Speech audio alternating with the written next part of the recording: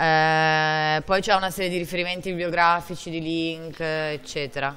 Però uno è questo ed è mm, il governo australiano, diciamo in generale la cultura australiana ha lavorato molto su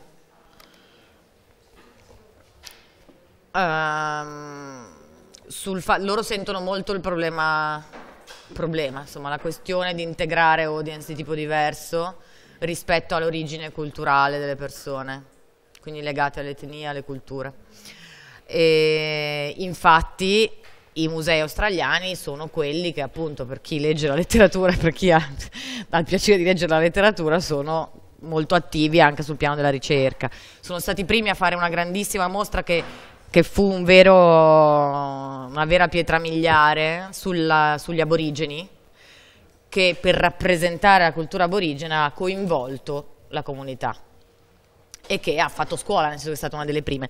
Questo è un report eh, piuttosto interessante in cui c'è anche spiegato nel dettaglio il caso dello Zuitplein e di altre eh, realtà in giro per il mondo che hanno lavorato sull'integrazione e la rappresentazione di comunità diverse all'interno della propria produzione culturale e comunicazione, quindi c'è una serie di casi interessanti. Di materiale ce n'è tantissimo, eh? cioè tenete conto che qualunque cosa vogliate approfondire ce n'è. Eh, un'altra cosa che vi, vi lascio c'è l'Audience Building Final Report che è stato prodotto l'anno scorso per questa conferenza su Audience Development che è stata fatta a Bruxelles, eh, che in qualche modo faceva il punto rispetto alle esperienze che erano state fatte sinora, mostrandone le debolezze e parlando anche di una serie di casi, sempre interessanti comunque da leggere.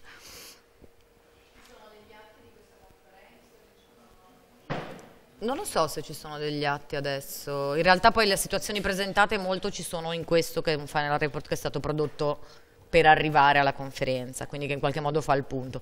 Anche perché questo sino ad oggi non è stato un tema centrale, cioè se ne sono occupati diversi, quelli che si occupavano di apprendimento, quindi quelli che si occupavano di intercultura, quelli che si occupavano e che è stato soprattutto finanziato nell'ambito di progetti Grundtvig, quindi progetti di apprendimento cioè legati all'apprendimento, allo scambio di apprendimenti tra operatori e quindi in qualche modo eh, lo trovate più su quello.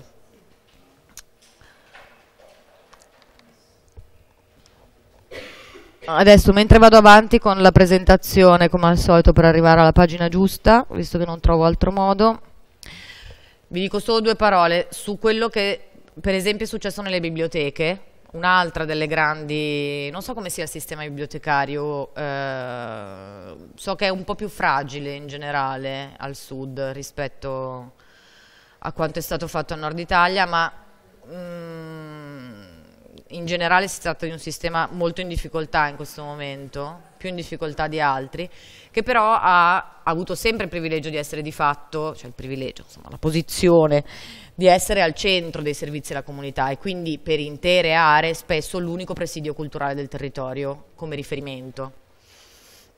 In questo caso si tratta di le biblioteche che hanno lavorato molto su analisi in funzione dello sviluppo di servizi nuovi per audience nuove sono soprattutto eh, un caso di studio molto interessante è quello di Sala Borsa che è una biblioteca di Bologna splendida peraltro, che ha sviluppato dei servizi e delle attività in funzione del fatto che ha tantissimi utenti stranieri.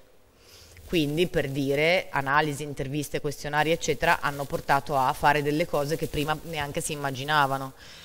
Per esempio a capire che le comunità avevano un grosso problema con la lingua madre, perché si tendeva a perdere, quindi la preoccupazione di mantenere quella cultura era una preoccupazione viva, e allora hanno incentivato sia nell'acquisto di libri per l'infanzia in diverse lingue, sia nell'individuazione di soggetti che potessero fare letture in quelle lingue, mamme volontarie che leggono in arabo per bambini, per i figli loro e di altre donne e che quindi in qualche modo permettano questo di pari passo con il sistema educativo che è arrivato a capire anche proprio in pedagogia che per esempio è impossibile imparare bene l'italiano se non sai bene la tua lingua d'origine che l'apprendimento della lingua madre è fondamentale per imparare una seconda lingua e che quindi il livello tutti quelli che quando arrivano tendono a parlare i loro figli solo in italiano creano un grosso problema ai bambini stessi, perché hanno un problema identitario eh, che, che, che, in qualche modo è legato a, a, alla, al mantenimento di una cultura precedente, ma non è solo questo il punto, è che se tu parli male la tua lingua madre, parli male anche l'italiano, lo parlerai male sempre. E questo in qualche modo è arrivato da altre parti, diciamo nella ricerca pedagogica, eh, a un po' la stessa conclusione, cioè la necessità di sviluppare competenze nella lingua madre. In questo modo ovviamente più bambini, più donne vanno lì perché sanno che lì si può leggere nella loro lingua, piuttosto che hanno creato tutta una sezione con i computer con le tastiere in cinese, con gli ideogrammi, per permettere l'utilizzo da parte di persone con altri alfabeti dei servizi della biblioteca. Altri casi, una biblioteca che è completamente rinnovata, che è un altro grande caso di studio in questo senso, che ha fatto un lavoro molto grosso sulla comunità anche con un utilizzo intensivo di volontari, è la biblioteca di San Giorgio a Pistoia, che è un'altra biblioteca che se andate sul sito vedete come lavorano, cosa fanno, ha sviluppato una quantità di servizi che assomigliano molto di più a un centro culturale che a una biblioteca così come ce la immaginiamo, diventando di fatto un presidio culturale importantissimo per la città, in cui si sviluppano temi sulle quali le persone sono chiamate a dire di cosa ti piacerebbe sapere di più, cosa ti piacerebbe fare, sviluppando attività in funzione di target più deboli, più scoperti o che avevano un'offerta culturale meno ricca. Il privilegio, diciamo, di avere un centro culturale che non parte da una collezione, è di poter prescindere da quella collezione e sviluppare anche linee di attività estremamente diversificate in funzione dei fabbisogni del territorio e non, eh, non dovendo fare i conti con un patrimonio eh, in qualche modo da mediare o facendolo ma in qualche modo diventando un luogo neutro rispetto a...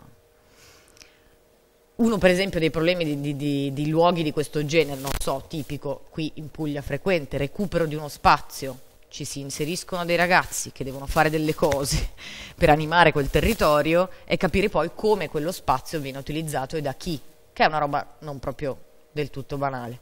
E qui ci viene in aiuto l'analisi, come sempre, come strumento per capire e orientare le nostre scelte rispetto allo sviluppo di servizi e prodotti.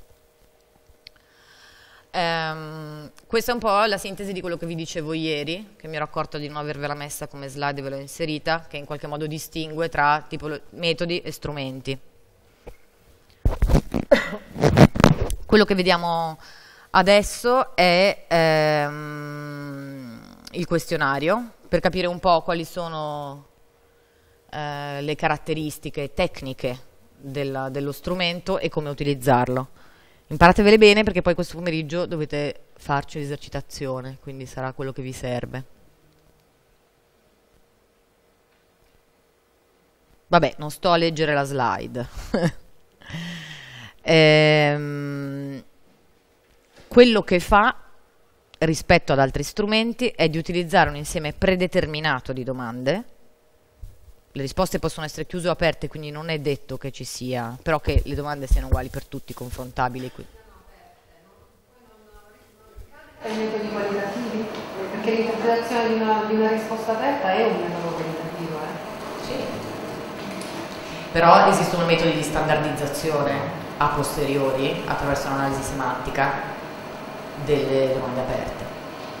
Sono più difficili da analizzare, comportano un intervento più sensibile da parte del ricercatore, però si può assolutamente fare.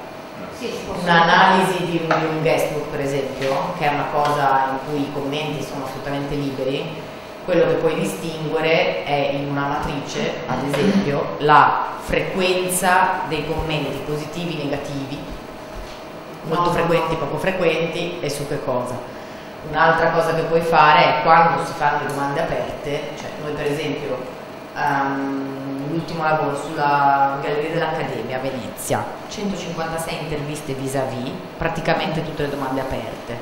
Alcune cose chiedevi con una scala di valore di dare un, un valore attribuito dalle persone a un certo tipo di informazioni.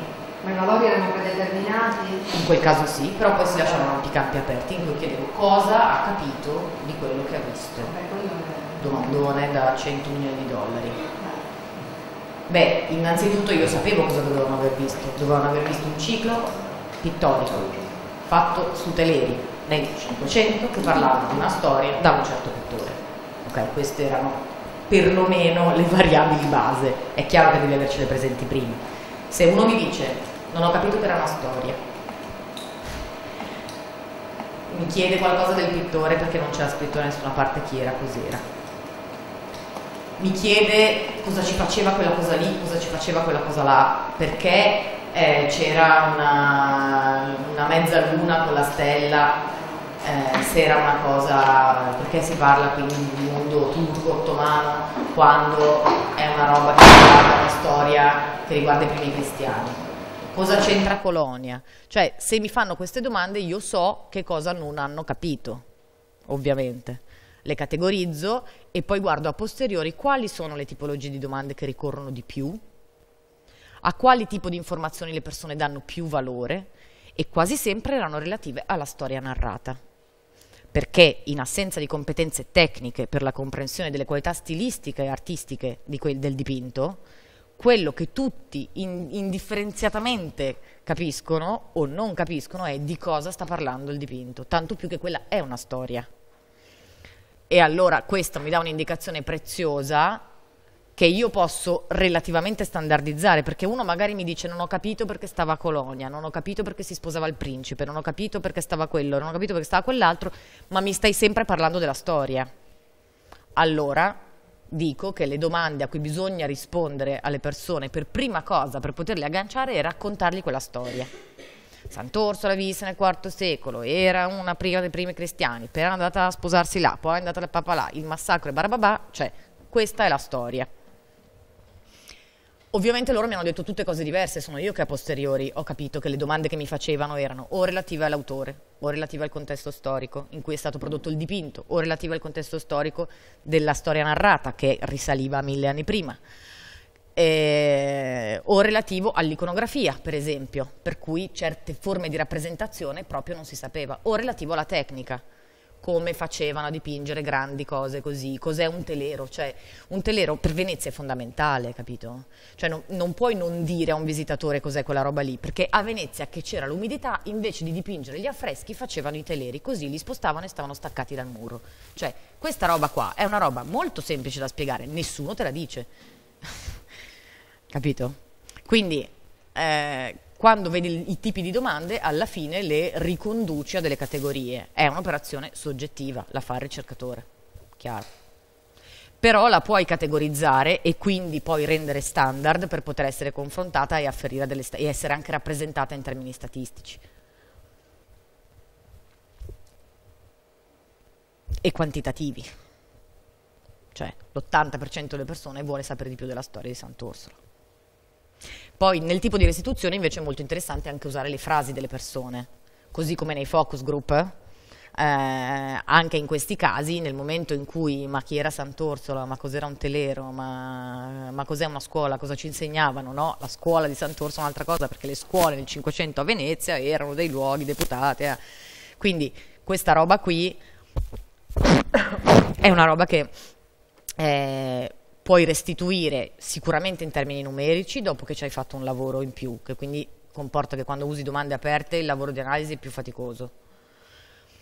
Però è anche estremamente più ricco.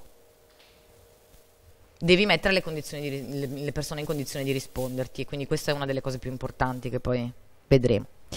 Allora, i passi necessari in generale a eh, una, una rilevazione di questo genere sono definire la popolazione di riferimento,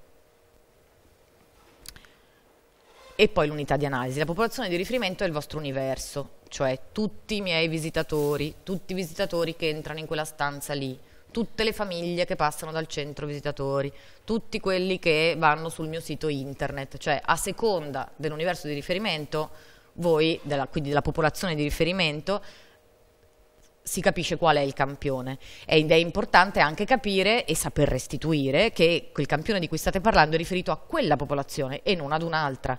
Se fate una web survey state parlando ai vostri utenti virtuali e quindi non state parlando dei vostri visitatori, state parlando dei vostri visitatori, non è neanche detto, che frequentano il vostro sito. Quindi nel momento in cui poi si generalizzano quelle informazioni bisogna avere come minimo questa chiara questa cosa.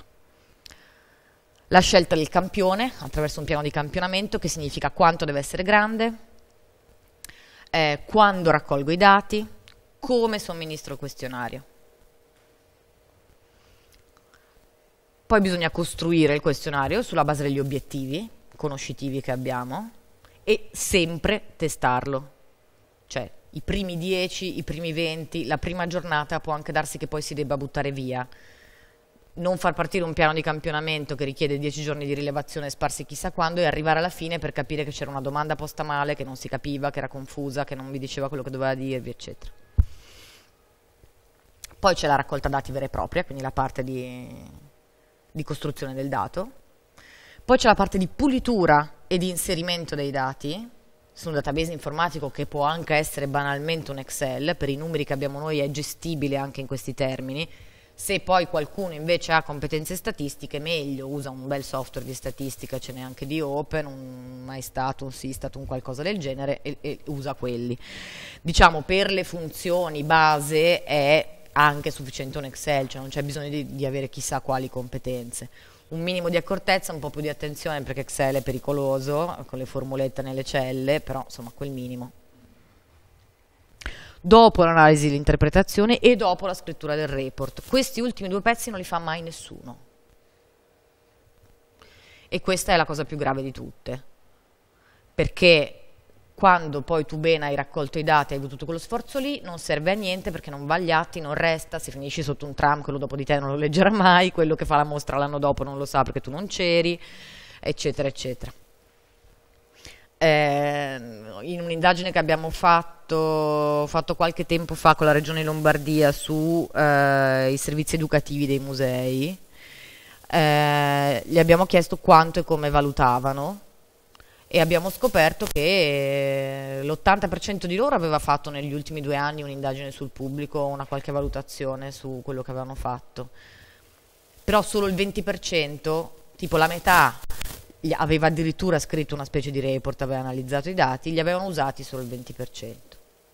Comunque c'è una quantità di lavoro spre totalmente sprecato, cioè proprio braccia rubate all'agricoltura, perché potevano stare a casa a fare l'orto, invece di raccogliere i dati facevano uguale. Ora, la prima questione è eh, la popolazione di riferimento, cioè quindi come costruire il campione.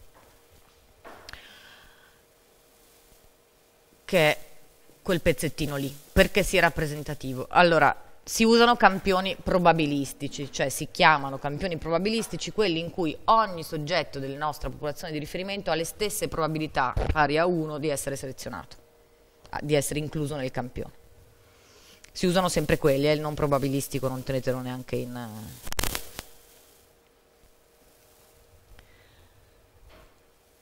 Allora, eh, specificare la popolazione obiettivo è l'altra cosa, ad esempio, tutti quelli che usano la mia caffetteria e vengono a bersi le birre qua, che io voglio sapere se sono anche persone che poi stanno ai concerti che organizzo la sera, ai corsi di formazione che faccio al pomeriggio, uh, quelli che mi comprano i miei pacchetti turistici, qualunque cosa. Però questa cosa della specificazione della popolazione è fondamentale, anche perché tu così capisci quando devi andarli a pescare. Se vuoi un campione rappresentativo di tutti i tuoi visitatori, devi guardarti i flussi di visite durante, l'anno e quindi fa, com, mm, com, mai concentrare in un unico periodo e prenderne un po' d'estate che sai che c'hai i turisti, un po' in autunno che sai che c'hai gli altri, un po' in primavera che sai che c'hai le scuole, in modo che siano in qualche modo distribuiti. Idem non tutti i fine settimana, non tutti in settimana, cioè in qualche modo per essere sicuro di non rappresentare solo un pezzo se nei tuoi flussi eh, di visitatori o di partecipanti hai delle concentrazioni particolari, per la qualcosa devi avere perlomeno idea di come sono distribuiti.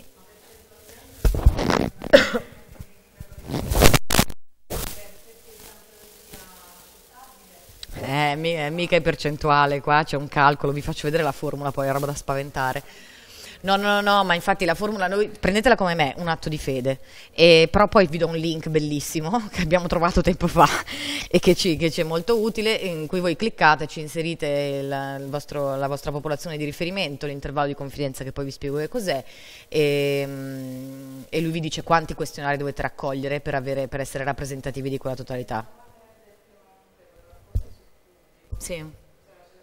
Lo diceva, è difficile campionare il pubblico del museo perché sono dei visitatori, non so chi viene a, vedere, a, a visitare il museo. C'era scritto di, cioè, proponeva di ogni, nel periodo di riferimento che sto indagando, ogni tot visite decido il campionamento sistematico. Di campionare. Quindi ogni 5 visitatori che entrano, track, ti rifilo al questionario, per dire, in modo da essere... Distribuito. Uno spettatore sì e uno no, ogni capofila della fila di spettatori del concerto gli do il questionario. La stessa roba, che è un sistema, perché in questo modo il campionamento lo fai tu e riduci in parte il fenomeno che già esiste, cioè il fatto che hanno propensione a risponderti sempre più o meno gli stessi e che quelli che non ti vogliono rispondere, che sono quelli o molto contenti o molto scontenti. E per cui se lasci il questionario all'ingresso e dici solo raccoglietelo pure, già un po'. Se invece viene dato in biglietteria dalla persona che, che te lo dà ogni 5, le probabilità di pescare sono più. Questo è il campionamento sistematico nella logistica di somministrazione. Per vedere in questo caso abbiamo tre diversi intervalli temporali, abbiamo preso quelli invernali, quelli primaverili e quelli estivi li distribuisci sulle settimane, sai che i giorni sono quelli lì, in qualche modo ti garantisci di distribuirli tra il weekend e la settimana, in un piano di campionamento ad esempio fai, eh, non so, noi adesso ne abbiamo fatto uno su una valutazione di impatto economico del Salone del Libro di Torino, che è un lavoro che avevamo già fatto nel 2009, adesso rifatto, per tirar su 2000 questionari, uno sproposito, eh, tantissimi, però lì il tipo di livello di ricostruzione era abbastanza complessa perché devi chiedere alla gente quanto hanno speso, da dove vengono, quanto sono stati, quanto hanno comprato, se hanno usato l'autobus, se hanno dormito in bed and breakfast e, un'infinità di altre cose. Però in questo caso noi andavamo tutti i dieci giorni di salone, però ovviamente il piano di campionamento prevedeva che nei giorni feriali, dove ci sono soprattutto scuole e quelli che si chiamano professionali, eh, ce n'erano meno. Nel weekend dove l'affluenza è infinitamente più alta raccoglievamo un numero superiore di questionari per rappresentare. Sì, sì, no, adesso ve lo faccio vedere tecnicamente come si fa. Ehm, quindi con un numero di questionari target per ogni fase, in modo che siano sufficientemente rappresentativi del, del flusso complessivo. Allora, questa è la dimensione del campione, cioè a quanto voglio arrivare, qual è il mio target. Allora, la dimensione del campione dipende da alcuni fattori niente affatto lineari evidenti. Il primo è il livello di confidenza e il margine di errore che si vuole sopportare. Il livello di confidenza è una brutta traduzione del confidence inglese, che però si usa così, ehm, che ci dice ad esempio mh, di solito si usa per tutte le statistiche ma inclusi per gli studi clinici per darvi l'idea del livello che, che, poi decidono di intere campagne di vaccinazione su continenti quindi un, un grado di affidabilità molto elevato. È un intervallo di confidenza del 95% che dice che tu hai il 95% delle probabilità di dire una cosa esatta. Ok? un campione rappresentativo ben costruito ti dice che al 95% quella cosa è vera.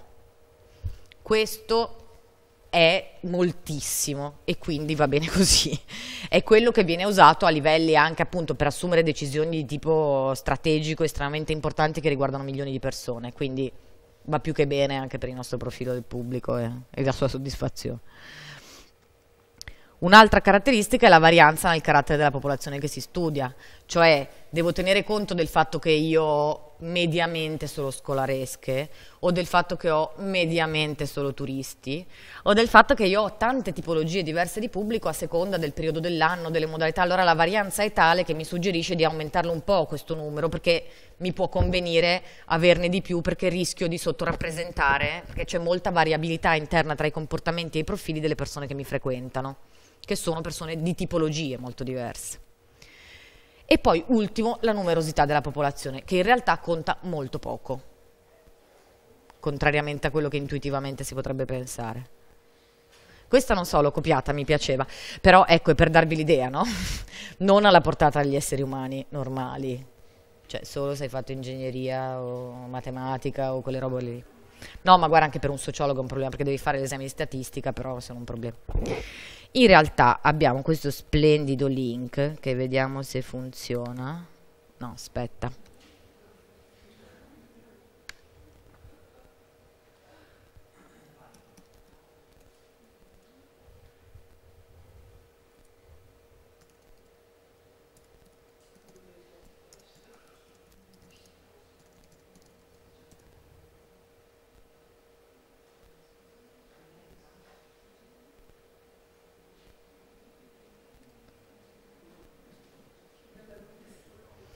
Tipo, quanti, di, di che, che popolazione ci immaginiamo sempre che funzioni?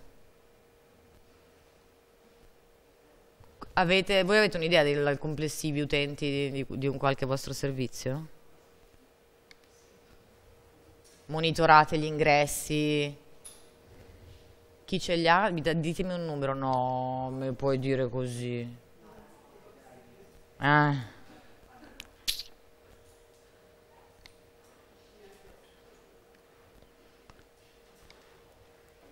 Questo è il link che c'è lì. Oh. Livello di confidenza 95. Al 99 veramente non esiste, cioè niente viene fatto al 99, credo. Intervallo di confidenza, ecco, questo è un altro bel concetto, sempre mal tradotto. Ehm, L'intervallo di confidenza ci dice che, poniamo, se il 20% dei nostri visitatori ci dice di aver saputo della nostra iniziativa eh, dal passaparola, l'intervallo di confidenza 4, che è assolutamente accettabile, nei visitor studies si usa ampiamente, ti dice che potrebbero essere il 16 come il 24%. Cioè un numero che sta tra il 16 e il 24% ha avuto questa informazione dal passaparola. Ok? Questo significa che ad esempio, di numerosità universo, che, che, numero di visitatori avete? 11.000?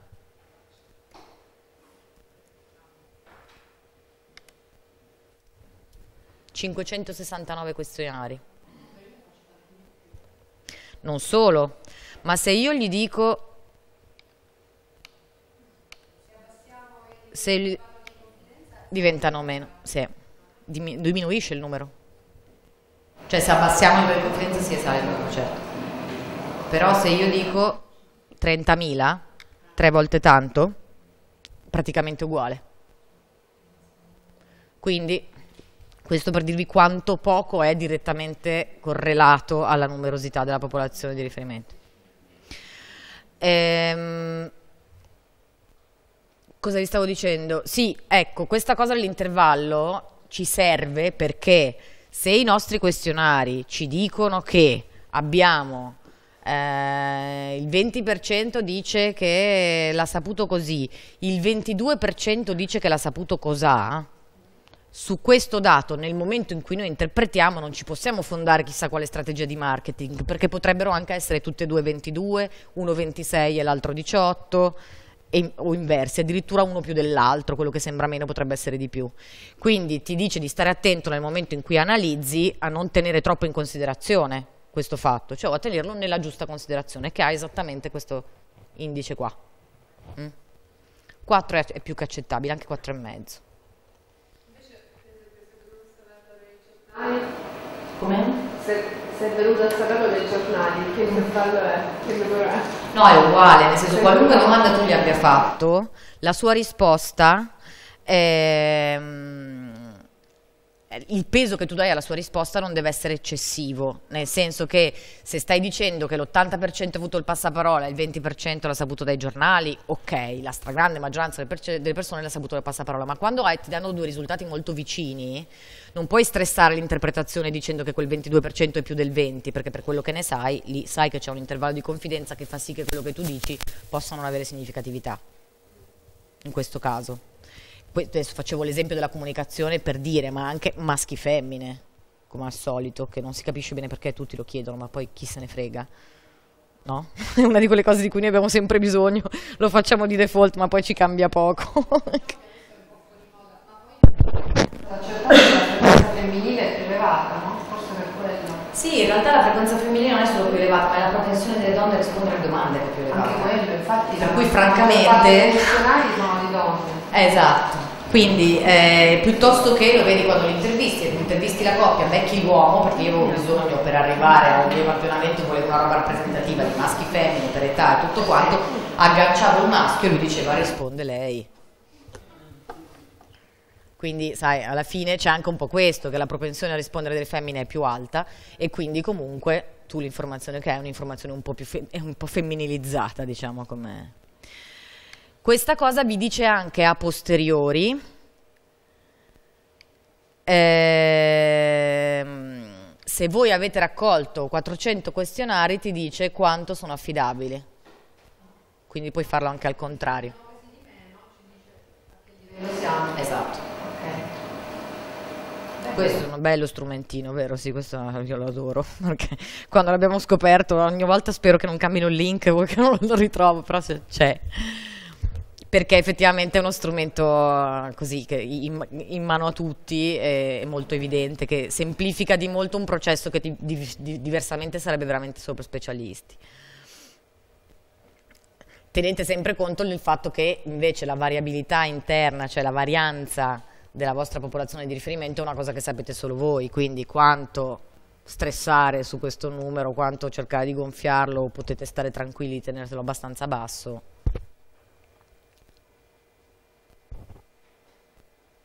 Ok. Allora, formulare le domande. Una serie di caratteristiche. Allora, evitare le domande doppie, che sono un grande classico. Poi vediamo un po' di esempi. Già una domanda in cui c'è dentro un e o non va bene. Evitare le domande ambigue e imprecise, tipicamente il gergo. Come valuta l'accessibilità? De che? Per uno che non lavora in quel campo lì, l'accessibilità è una roba su cui l'hanno stressato a IOSA, sta negli standard eh, nazionali e bla bla bla. Però accessibilità per una persona non vuol dire niente. Cioè, vuol dire ci arrivo in macchina, vuol dire parcheggio, vuol dire non ci sono le scale, posso salire anche con una carrozzina, cosa vuol dire? Cioè, vuol dire che il prezzo era accessibile?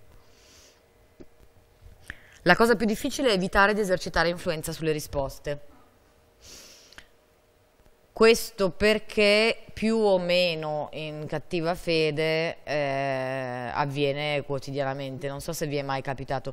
Tempo fa, ehm, con la precedente amministrazione di Milano, io ho ricevuto a casa un questionario in cui mi chiedevano eh, delle opinioni sulle politiche rispetto al verde urbano che a Milano è come dire, cioè parlare di- della luna. E mi chiede, e l'incipit era, l'amministrazione comunale ha ampliato con 180.000 ettari di eh, terreno verde, eh, di verde urbano, arbusti, erba e pincopallo. Ovviamente questa cosa io da cittadina lo so che è dovuto alla somma degli spartitraffico, perché hanno calcolato la superficie degli spartitraffico, degli isolotti, delle piazze, delle cose. Però mi dicono, siamo, abbiamo fatto tutta questa cosa qua, e già mi sta influenzando. E poi dici, rispetto al numero di... abbiamo piantato 180.000 alberi. Rispetto a questa cosa, benissimo, continuate così. Potreste fare meglio. No, e sono incazzata nera come risposta non c'è. eh? Cioè, non avete fatto niente, cioè, non mi, hai, non mi hai chiesto niente, mi hai detto solo se sono contentissima o solo un po' contenta. Io lì non mi posso esprimere, altro che... Allora, questo era un caso palese di malafede, però in moltissimi casi uno senza saperlo esercita un'influenza sulle risposte, nel modo stesso in cui formula le domande. E bisogna stare molto attenti nel momento in cui lo si fa, guardarli con occhio critico, rileggerli, farli compilare ad altri, farli vedere a chi non siamo noi e che possa in qualche modo darci uno sguardo diverso. E fare riferimento a temi concreti e specifici, cioè quando parlo come in una customer satisfaction, chiedermi in generale se sono contento di qualcosa non vuol dire niente, perché non distingui per esempio la qualità tecnica dalla qualità, quindi dal eh, funzionale, dalla qualità funzionale di processo a quella tecnica di prodotto, per cui io posso essere molto soddisfatto del concerto che ho visto, però magari ho aspettato due ore per trovare un parcheggio e questa cosa mi ha cambiato parecchio la percezione della serata, piuttosto che ci ho messo due ore di coda per uscire dopo dal parcheggio, o ho trovato i bagni sporchi, o non ho trovato dove cambiare mio figlio, o qualunque altra cosa che possa aver cambiato la mia percezione complessiva dell'esperienza. E se tu chiedi solo se uno è contento o no, non saprai mai di che cosa è contento e anche quando fai domande, fare domande che abbiano a che vedere con una cosa che ha a che vedere con l'esperienza, cioè la, la, se, la questione centrale è sempre chiedere alle persone quello di cui hanno competenza. Quindi se uno è un visitatore, lui sa cos'è visitare questo museo, l'esperienza della visita nella sua complessità. Chiedergli di valutare aspetti teorici, ampli, eccetera, è una cosa che quasi sempre ti dà dei risultati che non... Cosa pensi dell'educazione ambientale? Cosa ne so? Che domanda è?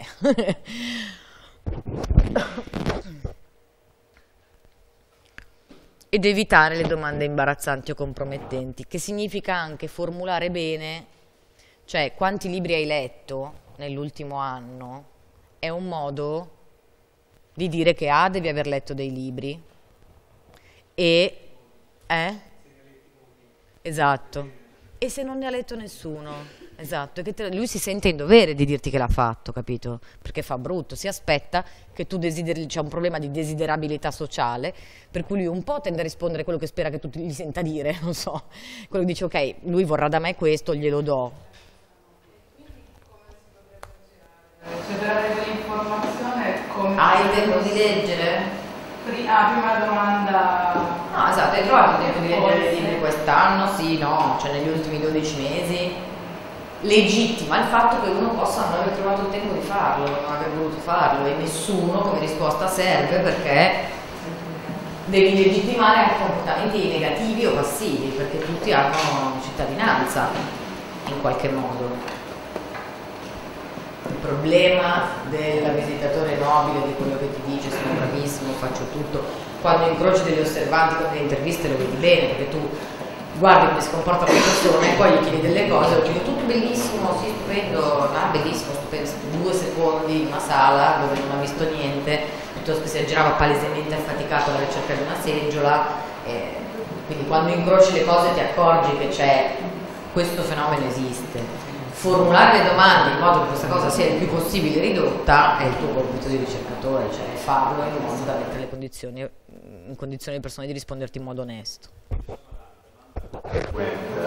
nella mia poca esperienza nella richiesta di compilazione di questionari, al 90% tutti chiedono sempre, ma è lungo? Quanto dura? Sempre. La domanda che fanno tutti. Una delle cose di progettazione è... Eh, vabbè, la cosa, la lunghezza poi ne parliamo, però dovrebbe mai, non essere mai più di 10-15 domande di questionario. 10 minuti, eh. E 5, 5, gli devi dire 5 fronte retro, se fronte retro, mai due fogli, anche una questione di risparmio, ma comunque se fronte retro, scrivendo sempre sotto segue, se no vi trovate un terzo dei questionari vuoti dietro, sempre. No. No, no, le persone rispondono volentieri a pochi quesiti, anzi può essere una strategia. No? Dell'indagine, ovviamente. Cioè? Cioè, limitare per esempio un questionario a, a tre quesiti cardini principali, diciamo summatoriale, ecco, può essere controproducente, Beh, sicuramente dipende no, perché il tasso di risposta si alza, cioè il tasso di risposta è inversamente proporzionale alla lunghezza del questionario, quindi più breve è più risposte hai, questo, la via più breve è sempre la migliore. Il problema è che deve essere significativo, se no comunque hai chiesto alle persone un impegno per quanto minimo ma che te ne frega niente, quindi il difficile equilibrio sta lì.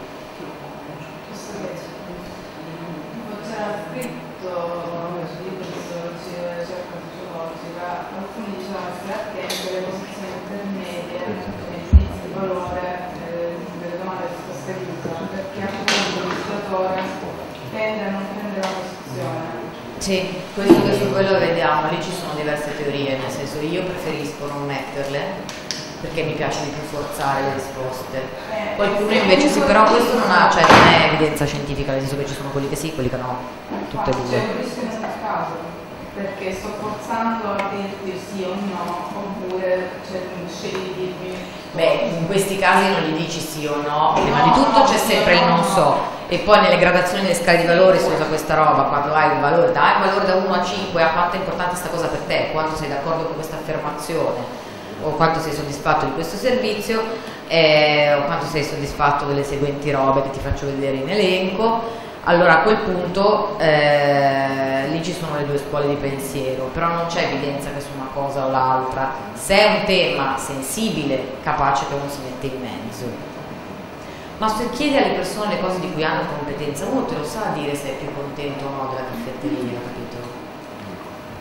perché è una cosa sulla quale ha competenza, cioè lo sa dirti se gli è piaciuto o no, gli stai chiedendo uno suo punto di vista e quindi non, questo effetto c'è meno.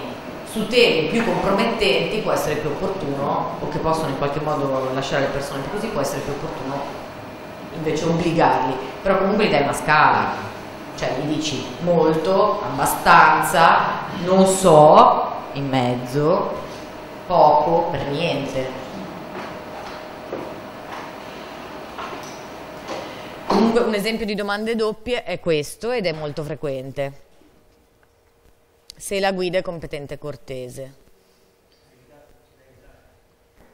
Da evitare.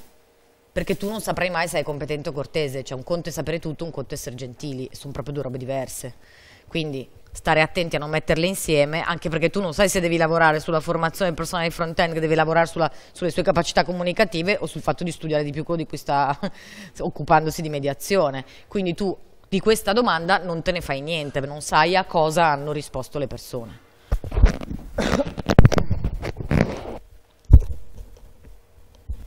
Queste sono le domande ambigue e imprecise che includono il dove risiede, so qua, ma cioè nel senso a Milano nessuno risiede a Milano, ci vivono tutti ma non ci risiede nessuno e uno ti dice Santa Maria di Leuca, però in realtà vive a Milano 5 anni per fare l'università lì.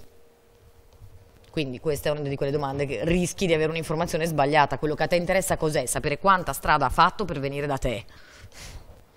Se viene da lontano, se viene da vicino, quindi ti interessa sapere dove abita. Queste sono eh, con l'osservatorio culturale che, che, Fitzcarraldo gestisce, è sede operativa dell'osservatorio, quindi raccoglie dati statistici sui consumi e sulla produzione culturale in Piemonte da 15 anni.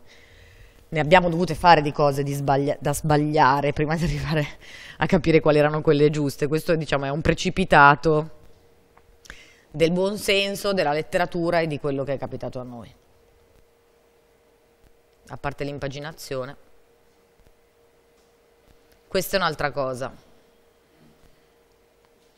Che a me è capitato di vedere anche di recente in un questionario di un centro commerciale, tra l'altro, quindi per dire gente che dovrebbe saperla fare sta roba, no? 0-1, cioè io, ne ho fatto, io sono, ci sono stata una volta in quel posto dove la metto la mia crocetta, ci sono stata tre volte, non ci sono stata nessuna, cioè cambia completamente. E anche quelli che hanno l'accortezza di metterti nessuna, però poi ti mettono 1, 3, 3, 5 creano il problema che hai buttato via una domanda, hai buttato via il tempo di chi ti rispondeva e tutto quanto. Non pensiate che queste cose non succedono, succedono, ma tanto succedono, quindi sono piccole attenzioni che uno si tiene. Questo è un altro problema nelle gradazioni, che siano a 3, che siano a 4. Il problema qua lo vedete? Vedete un problema?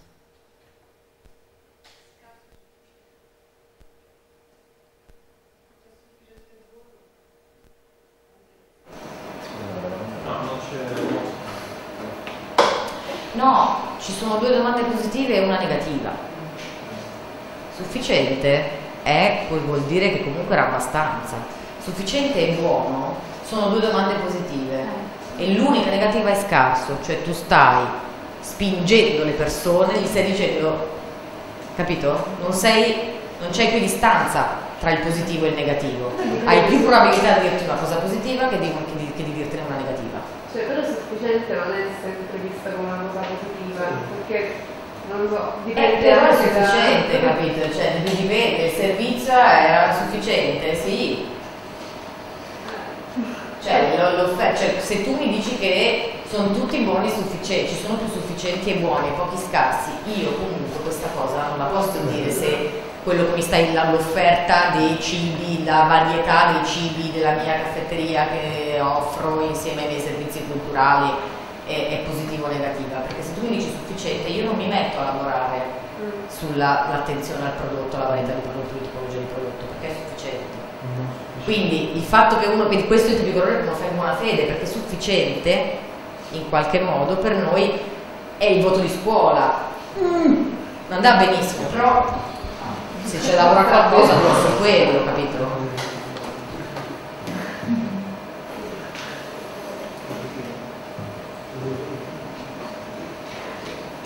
L'utilizzo delle scale, queste sono molto utili mm, se usate bene, di solito vengono usate un po' a casaccio.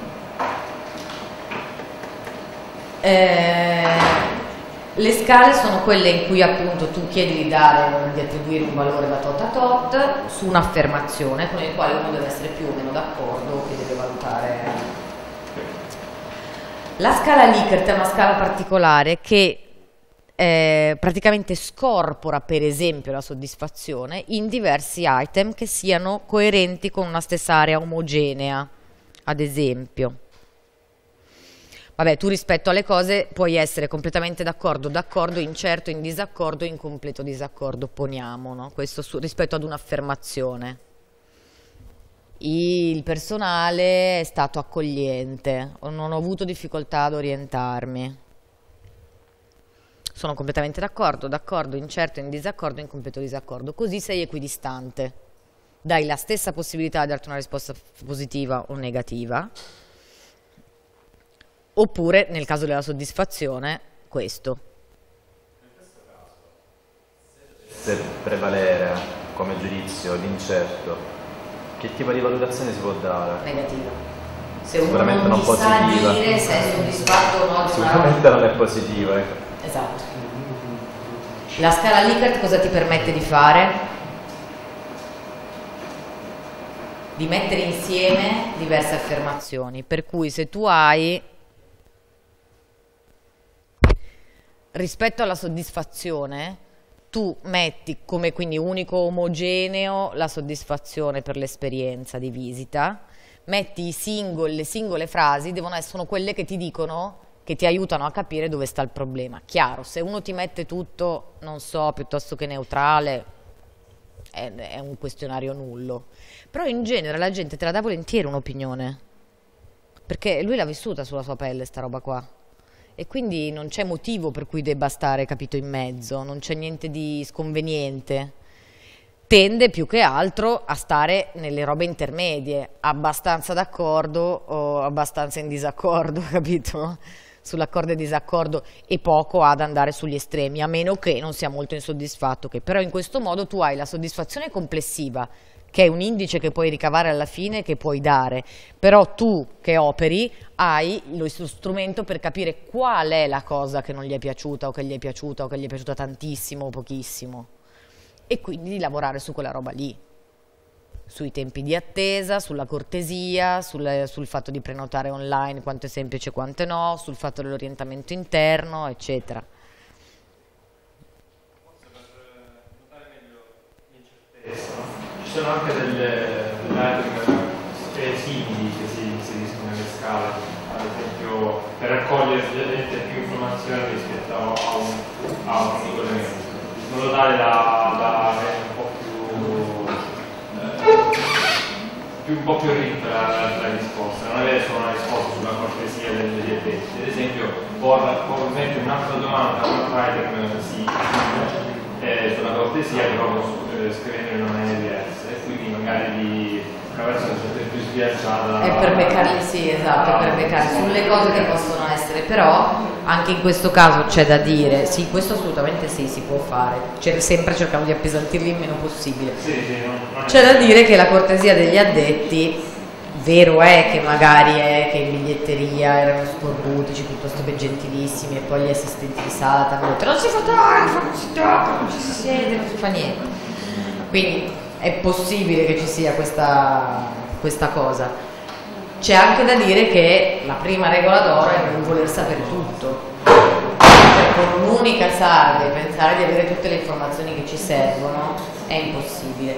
Quindi se ci si focalizza, si dice vabbè adesso lavoriamo sulla customer experience, lavoriamo sul personale di frontline, allora quello che vogliamo capire è, perché magari abbiamo appena cambiato cooperativa con cui lavoriamo che gestisce i servizi di accoglienza, sono in grado, allora lavoriamo bene su questa cosa qua, capiamo dove sono le debolezze. E fai una batteria di domande specifica per quella roba lì, per cui nei tuoi monitoraggi continui che ti fai durante l'anno, che ti puoi fare una volta l'anno, eccetera, ci saranno delle domande che te le tieni sempre uguali, così intanto il profilo, la provenienza, un minimo ce l'hai, e delle altre che cambia a seconda del periodo di quelle delle cose che vuoi sapere, specifiche. Ovviamente per ogni cosa che aggiungi ne togli un'altra però, perché sennò dopo diventa quel papiro che nessuno ti compila. Gli atteggiamenti oggetto di indagine devono essere gli stessi, cioè se tu chiedi anche non lo so, cioè se tu gli stai chiedendo la soddisfazione su queste cose qua, eh,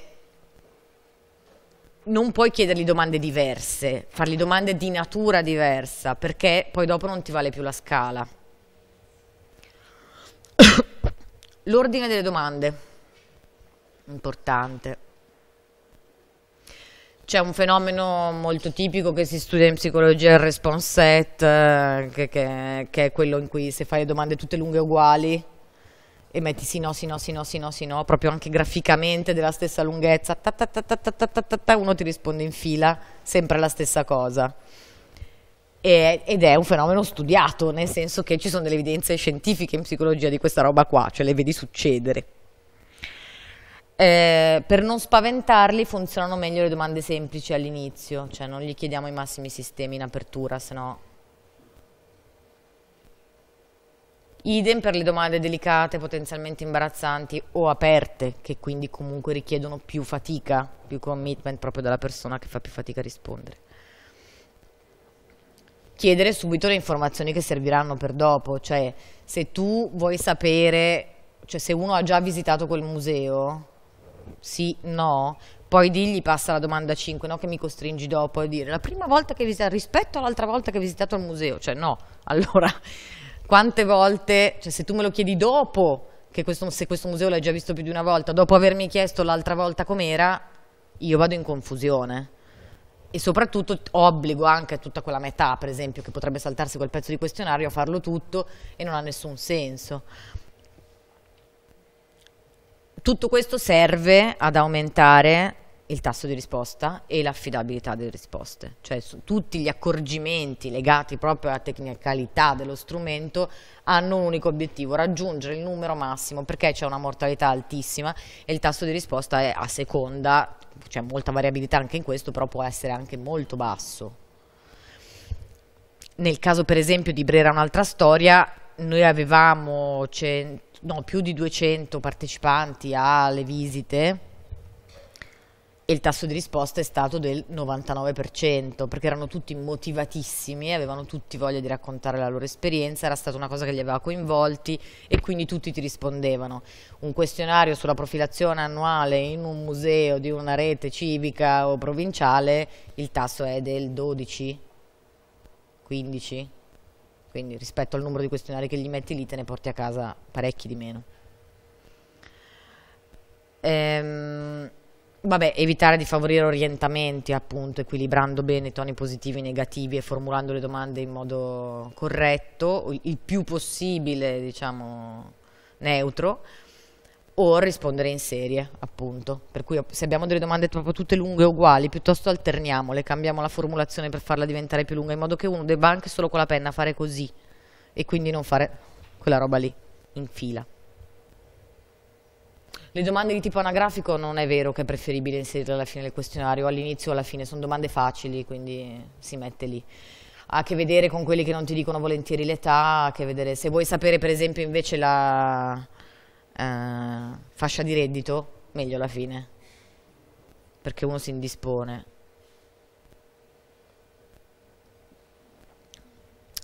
Allora, vabbè, adesso praticamente è l'una, possiamo poi fermarci. Eh, al pomeriggio già chi di voi ha un, uh, un questionario che vorrebbe fare, per esempio? Cos'è che voi vorreste sapere? C'è qualcuno di voi che rispetto alla realtà in cui opera vorrebbe sapere delle cose? Io vorrei fare quello che ho fatto, però forse è migliore, sto finita di scrivere la tesi, quindi sto scoprire Vabbè, ma già cioè, voglio dire, ti sei studiata un po' di queste cose sì, prima di farlo, no? Cioè hai cercato di evitare questi errori qua che sono quelli da letteratura. Sì, però onestamente eh, non è stato magari ce l'avessi fatto controllare un psicologo, ho detto guarda che da poco mi questa domanda. Sì, uno psicologo, uno sociologo, c'è qualcuno che avesse la formazione roba qua, cioè abituato a fare domande alle persone, quindi a sapere le buone incidere sulle risposte che avrà. Non formulavo le risposte aperta, le formulavo assolutamente la traccia dell'intervista. Perché la tua non sei strutturata. Sì, e il fatto è che in base alla persona che ho fronte, anche per l'esempio, della professione militare, della persona che era vicino a per poi cercare di ottenere le risposte che volevo. Perché facevi interviste molto poco direttive. Sì, comunque la traccia avevo di Vabbè, ma le gradazioni, cioè da quello strutturatissimo all'intervista libera, cioè c'è in mezzo l'infinita gradazione. Il grado di direttività dipende da quanto tu vuoi fare emergere cose che ne presuppongono. Cioè la differenza di quando assumi uno strumento come il questionario, o per esempio la presentazione domande aperte e domande chiuse. Ecco, l'ultima cosa. Domande aperte e domande chiuse hanno delle implicazioni. Le domande chiuse sono comode da analizzare, comportano che tu abbia già presenti le variabili di un dato processo che vuoi analizzare.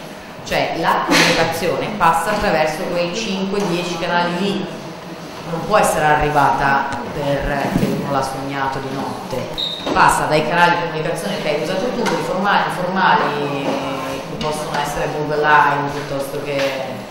Cioè, la comunicazione di quelli sono i canali, maschio e femmina quelli sono, capito? Certo esistono tutte le figure intermedie, però diciamo che staccamente non hanno rilevanza.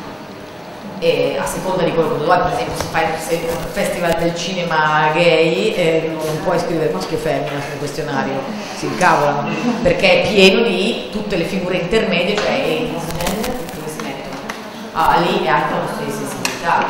Cioè, riconoscere a quel particolare tipo di utenza che una roba che per te in un posto non, non dedicato, un'offerta culturale non così dedicata possa esserci un margine di persone che hanno identità sessuali diverse, di genere che si riconoscono diverse, per te non è rilevante, in quel contesto è rilevante anche che tu sai con chi stai operando, cioè stai parlando della gente che può essere maschio, può essere femmina, può essere un'infinità di altre cose.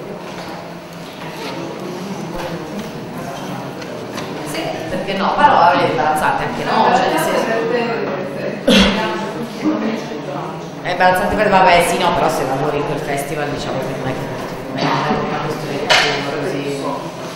Però per, per dire, cioè una sciocchezza, quel minimo di adattamento anche sulla roba più banale del mondo. Però in generale le domande chiuse le usi quando conosci già i perimetri e le variabili di un fenomeno. Per cui le cose possono stare lì, lì o là. 5, 10, 3 variabili, quelle sono quando eh, non conosci tutte le variabili possibili che possono essere utili a descrivere quel sistema che stai esplorando.